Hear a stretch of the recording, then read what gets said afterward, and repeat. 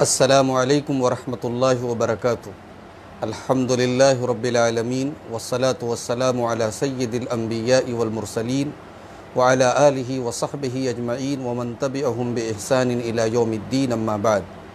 محترم ناظرین، ہمارے اس لائیو پروگرام میں ایک بار پھر آپ کا خیر مقدم ہے۔ محترم ناظرین، یہ بتانے کی شاید ہمیں اور آپ کو اب ضرورت بھی نہیں ہے۔ جانتے ہیں کہ اس وقت پوری دنیا جس میں ہمارا ملک بھی شامل ہے اور دنیا کے بیشتر ممالک اس وقت کرونا وائرس کی وبا سے دوچار ہیں۔ اور کل جیسا کہ میں نے ذکر کیا تھا کہ ہمارے ملک میں لاک ڈاؤن حکومت کی طرف سے بڑھا دیا گیا ہے۔ اور ابھی حالانکہ حکومت کی طرف سے اعلان نہیں کیا گیا ہے لیکن بہت سارے اسٹیٹ میں اعلان ہو چکا ہے۔ اور امید ہے کہ آج یا کل وزیر اعظم کی طرف سے اعلان ہو جائے گا اور کم سے کم تیس اپریل تک لاک ڈاؤن بڑھا دیا جائے گا۔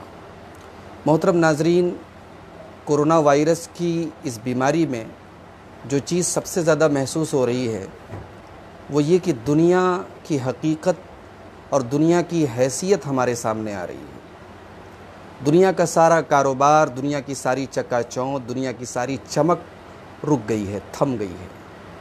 یعنی آپ یہ سوچئے کہ ایک مہینہ پہلے کسی نے سوچا بھی نہیں تھا کہ ایسے حالات آ جائیں۔ اللہ تعالیٰ نے قرآن کریم میں جو کہا کہ وما تدری نفس ماذا تقسب و غدا، کوئی نہیں جانتا کہ کل کیا کرے گا۔ اس آیت کریمہ کی صحیح تفسیر اور صحیح اس کی تصویر اب دیکھنے میں آ رہی ہے اور انسان کے علم کی بے بسی نظر آ رہی ہے۔ انسان کتنا مجبور اور کتنا کمزور ہے، یہ نظر آ رہا ہے۔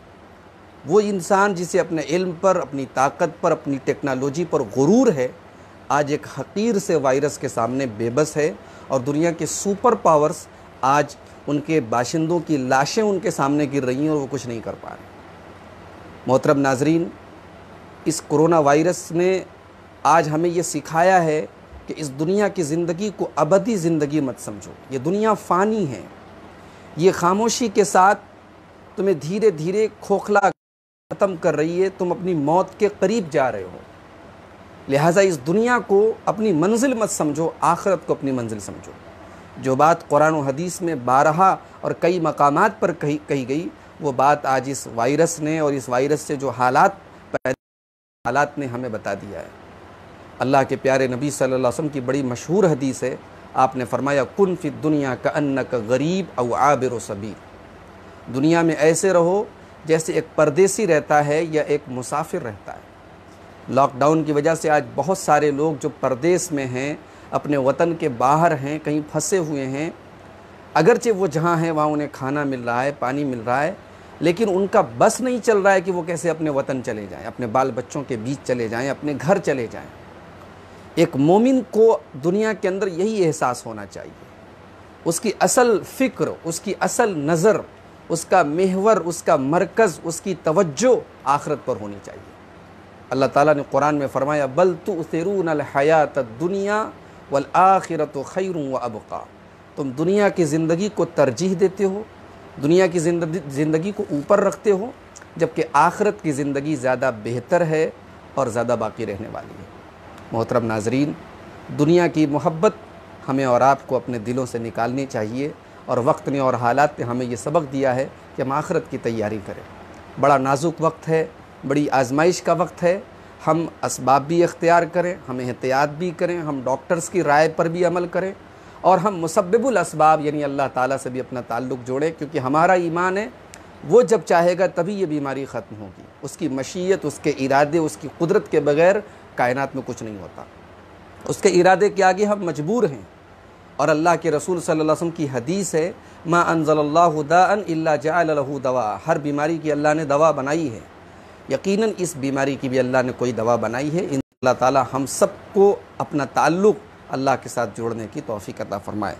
محترم ناظرین، کل میں نے آپ سے یہ عرض کیا تھا کہ ہمارا یہ جو سلسلہ چل رہا ہے محدثین کرام کی سیرت کا، آج یعنی جو ہم درس کرنے جا رہے ہیں، یہ اس سلسلے کی انشاءاللہ آخری کڑی ہے۔ اور کل سے انشاءاللہ ہم ایک نیا سلسلہ آپ کے سامنے شروع کریں گے۔ کل جو ہم سلسلہ شروع کریں گے وہ کیا ہوگا؟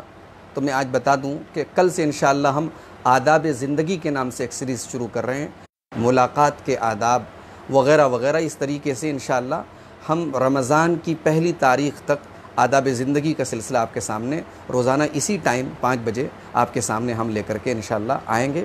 اور جب رمضان شروع ہوگا اور پھر بھی اگر لاک ڈاؤن رہے گا تو ہم دیکھیں گے انشاءاللہ اگر ممکن رہا تو رمضان میں روزانہ ایک ایک پارے کی قرآن مجید کی تفسیر آپ کے سامنے پیش کرنے کا ارادہ ہے۔ لیکن ہم اللہ تعالیٰ سے دعا کریں، اللہ تعالیٰ خیر کرے اور برکت کا مہینہ رمضان اپنی صحت و عافیت کے ساتھ، ہماری صحت و عافیت کے ساتھ ہمیں ملے اور پوری اس اس مہینے کی برکتیں ہم سکون کے ساتھ اور عافیت کے ساتھ حاصل کر سکیں۔ اللہ تعالیٰ سے ہماری یہ دعا ہے۔ آج ہم جس محدث کی سیرت بیان کرنے جا رہے ہیں، بہت ہی مشہور مصنف اور محدث ہیں اور ان کا نام ہے امام ابن ابی شیبہ رحمۃ اللہ علیہ۔ آپ کی حدیث کی بہت مشہور کتاب ہے مصنف ابن ابی شیبہ۔ حدیث کی یعنی بہت قدیم کتابوں میں اور حدیث کے سب سے ضخیم مجموعہ مجموعات میں آپ کی کتاب کا نام آتا کا نام ان کے دادا کا نام ابراہیم تھا اور دادا کی کنیت ابو شیبہ تھی۔ لیکن ان کے نام کے ساتھ ایسا ابن ابی شہبہ مشہور ہو گیا کہ ایسا لگتا ہے کہ ان کے والد کا نام ابی ابی شہبہ ہے، جبکہ ان کے والد کا نام محمد تھا۔ آپ کا سلسلہ نصب اس طریقے سے ہے۔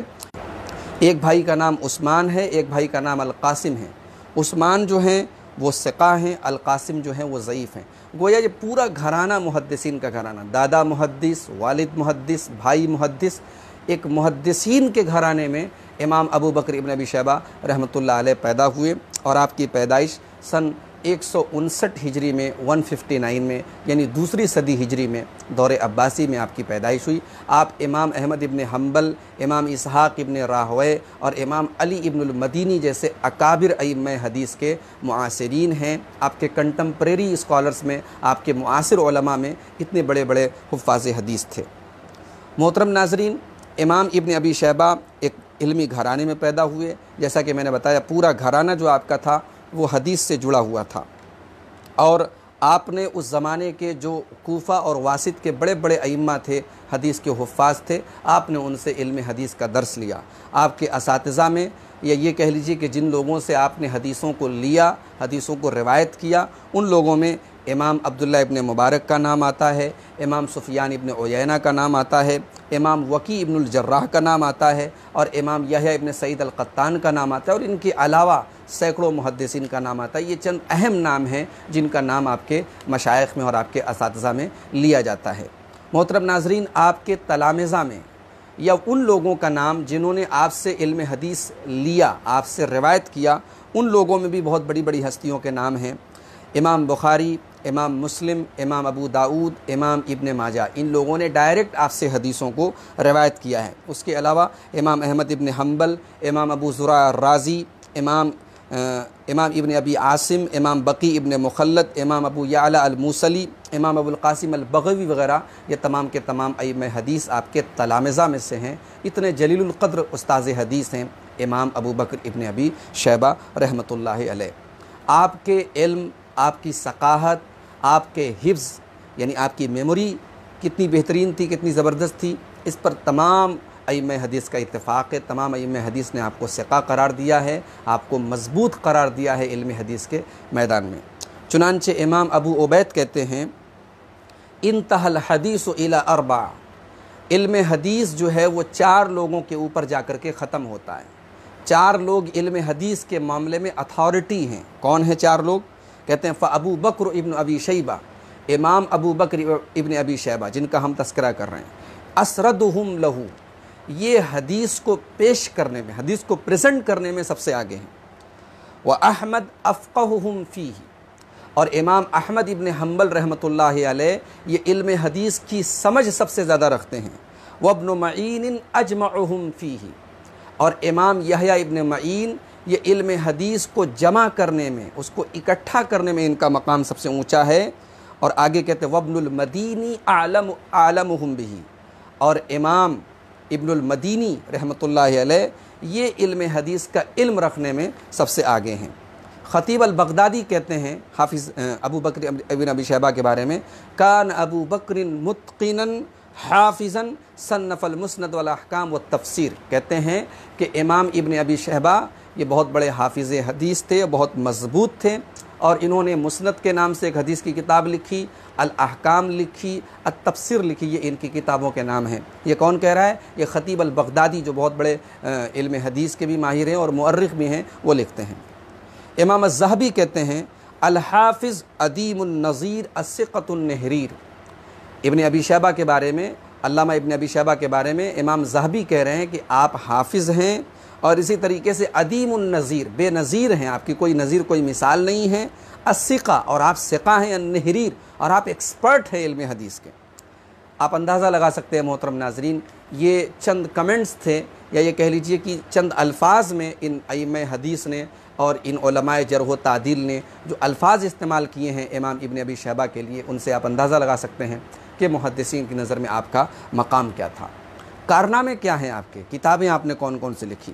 مختلف کتابیں آپ نے لکھی، آپ کی چار کتابوں کے نام عام طور سے مورخین نے لکھے ہیں۔ ایک آپ کی حدیث کی کتاب ہے المسند کے نام سے۔ ہم اس کے پہلے بتا چکے ہیں کہ مسند اس حدیث کی کتاب کو کہا جاتا ہے جس میں صحابہ یا محدث اپنے اساتذہ کے ناموں کی ترتیب کے اعتبار سے حدیثوں کو کلیکٹ کرتا ہے، جمع کرتا ہے۔ جیسے امام احمد ابن حنبل کی بڑی مشہور کتاب ہے مسند احمد ابن حنبل۔ تو امام ابن ابی شہبہ نے بھی المسند کے نام سے کتاب لکھی۔ اسی طریقے سے آپ نے کتاب لکھی الاحکام۔ ایک آپ نے قرآن کی تفسیر پر کتاب لکھی التفسیر۔ اور جو آپ کا ماسٹر پیس تھی اور جس کتاب نے آپ کو لازوال شہرت دی، اس کتاب کا نام ہے مصنف ابن ابی شیبہ۔ مصنف کا مطلب بھی یہی ہوتا ہے کہ فقہی اعتبار سے محدث حدیثوں کو جمع کرے اور اس کے اندر حدیثوں کے علاوہ صحابہ اور تابعین کے اقوال کو بھی جمع کرے ایسی کتاب کو مصنف کہا جاتا ہے۔ مصنف کے نام سے دو کتابیں بہت مشہور ہیں۔ ایک مصنف عبد الرزاق اور ایک مصنف ابن ابی شیبہ۔ مصنف عبد الرزاق اور پرانی کتاب ہے، لیکن اس سے زیادہ شہرت امام ابن ابی شیبہ کی کتاب مصنف ابن ابی شیبہ کو حاصل ہے۔ یہ حدیث کی بڑی اہم اور بلند پایا کتابوں میں سے ہے اور انہوں نے امام ابن ابی شیبہ نے اس کے اندر تمام روایتیں صنعت کے ساتھ ذکر کی۔ اور اس میں اللہ کے رسول صلی اللہ علیہ وسلم کی مرفوع حدیثوں کے علاوہ تابعین کے اقوال، صحابہ کے آثار اور فقہا کے اقوال بھی آپ نے جمع کر دیے ہیں اور فقہی ترتیب کے حساب سے آپ نے اس کے اندر حدیثوں کو کلیکٹ کیا ہے، روایات کو کلیکٹ کیا ہے۔ پہلے کتاب الطہارہ ہے، پھر کتاب الصلاح ہے، وغیرہ وغیرہ۔ اسی طریقے سے آخر میں صحابہ کے بیچ میں جو اختلافات ہوئے اور جو جنگیں ہوئیں، آخری چیپٹر مصنف ابن ابی شہبہ کا اس سلسلے میں ہے۔ محترم ناظرین، اس کتاب کی چند خصوصیات آپ کے سامنے بیان کر دینا مناسب سمجھتا ہوں۔ سب سے پہلی خصوصیت اس کتاب کی یہ ہے کہ اس کی اکثر روایتیں کتب ستہ کے اندر موجود ہیں۔ صحیح بخاری، صحیح مسلم، ابو داود ترمیزی نسائی، ابن ماجہ، ان کتابوں کے اندر اکثر اس کتاب کی روایتیں موجود ہیں۔ دوسری اس کتاب کی خاصیت یہ ہے کہ احکام اور مسائل کے سلسلے میں اس سے زیادہ مستند اور زخیم مجموعہ نہیں ہے۔ علماء نے اس کتاب کے بارے میں لکھا کہ احکام اور مسائل کے اوپر اس سے زیادہ مستند اور زخیم مجموعہ نہیں ہے۔ تقریباً سینتیس ہزار، تھرٹی سیون تھاؤزنڈ حدیثیں امام ابن ابی شہبہ نے اس کتاب کے اندر کلیکٹ کی ہیں، جمع کی ہیں اور پوری کتاب ابھی تک چھپی نہیں ہے۔ جو بھی چھپا ہے اس کتاب کے مختلف اجزاء چھپے ہیں، پوری کتاب میری معلومات میں ابھی تک شائع نہیں ہوئی ہے۔ اس کتاب میں امام ابن ابی شیبہ نے مرفوعات کے علاوہ جیسا کہ میں نے ذکر کیا، صحابہ اور تابعین کے اقوال بھی ذکر کیے اور فقہ کے اقوال بھی ذکر کیے ہیں۔ کسی خاص مسئلے میں صحابہ کے درمیان کیا اختلافات تھے، تابعین کے درمیان کیا اختلافات تھے اور ان کے دلائل کیا تھے، اس کو سمجھنے کے لیے بہت مفید کتاب ہے ایک اسکالر کے لیے، مصنف ابن ابی شیبہ۔ امام ابن ابی شیبہ رحمۃ اللہ علیہ تقریباً پچھتر سال کی عمر گزارنے کے بعد آٹھ محرم سن دو سو پینتیس ہجری کو آپ کا انتقال ہوا، آپ کی وفات ہوئی اور کوفہ ہی میں آپ کا، آپ اللہ تعالیٰ کو پیارے ہوئے۔ اللہ تعالیٰ کی رحمتیں نازل ہوں۔ امام ابن ابی شہبہ کے اوپر اور اللہ تعالیٰ آپ کی خدمات کو قبول کرے، آپ نے امت کے لیے ایک بہت بڑا حدیث کا ذخیرہ چھوڑا ہے۔ محترم ناظرین، مجھے اس بات کا اعتراف ہے کہ ہم نے یہ جو سلسلہ شروع کیا تھا، اس لسٹ میں بہت سارے لوگوں کے نام آ سکتے تھے۔ محدثین کی ایک لمبی فہرست ہے۔ ہم نے چند نام ذکر کیے ہیں۔ آج ہم نے جو یہ محدث کا ذکر کیا، یہ بارہویں محدث ہے۔ ہم نے بارہ محدثین کا آپ کے سامنے تذکرہ کیا ہے، جبکہ ان کی لسٹ کافی لمبی چوڑی ہے۔ ہمیں پورا اعتراف ہے کہ ہم نے بہت سارے محدثین کا ذکر نہیں کیا ہے اور انشاءاللہ کبھی آگے اگر گنجائش ملی، موقع رہا، تو ہم اور بھی جو دیگر بڑے بڑے محدثین ہیں، ہم ان کی سیرت آپ کے سامنے پیش کرنے کی کوشش کریں گے۔ اور انشاءاللہ کل آپ سے ملاقات کرتے ہیں۔ آداب زندگی کے نام سے ایک نیا سلسلہ لے کر کے آتے ہیں۔ اللہ سے دعا کریں۔ یہ جو چھوٹی اور حقیر سی کوششیں ہیں، لاک ڈاؤن کا پیریڈ ہے، آپ بھی گھروں میں ہیں، میں بھی گھر میں ہوں، اور ہم سب اس وقت ایک قسم کی فرصت میں بھی ہیں۔ یہ الگ بات ہے کہ ٹینشن میں بھی ہیں، پریشانی میں بھی ہیں، معاشی مسائل بھی ہیں۔ لیکن بہرحال اس فرصت کو، اس ان خالی اوقات کو اگر ہم کچھ سیکھنے میں گزاریں، کچھ دین کی باتیں سننے اور کہنے میں گزاریں، تو میں سمجھتا ہوں کہ یہ بہت بڑی سعادت کی اور توفیق کی بات ہے۔ رب العالمین سے دعا ہے الہ العالمین ہماری ان کوششوں کو قبول فرما۔ اے اللہ، ہمیں محدثین کرام کی طرح اپنے سینوں میں، اپنے دلوں میں حدیث رسول صلی اللہ علیہ وسلم کی محبت اور عظمت پیدا کرنے کی توفیق عطا فرما۔ رب العالمین، ہمیں اتباع رسول کی توفیق عطا فرما۔ اے اللہ، اس وبا کو، اس بیماری کو، اس مرض کو تو جلد سے جلد یہاں سے رفع کر دے، ختم کر دے اور سارے انسانوں کو اور ساری دنیا کو اس مصیبت سے تو راحت عطا فرما۔ اے اللہ، ہمارے ملک کو تو اس بیماری سے بچا۔ اور اے اللہ مسجدوں میں نماز سے محروم ہیں ہم، مسجدوں میں جمعہ اور جماعت سے محروم ہیں۔ اے اللہ، اس عزیت سے اور اس تکلیف سے جلد سے جلد ہم سب کو نجات عطا فرما۔ جو بھی ہم میں بیمار ہیں اور اس بیماری میں جو لوگ شکار ہیں، اے اللہ، ان کو شفائے کامل عاجل عطا فرما۔ جب تک ہم دنیا میں زندہ رہیں، اسلام پر زندہ رکھ اور ہم سب کا خاتمہ ایمان پر ہو۔ آمین۔ و آخر و داوانہ ان الحمد رب العالمین۔ والسلام علیکم ورحمۃ اللہ وبرکاتہ۔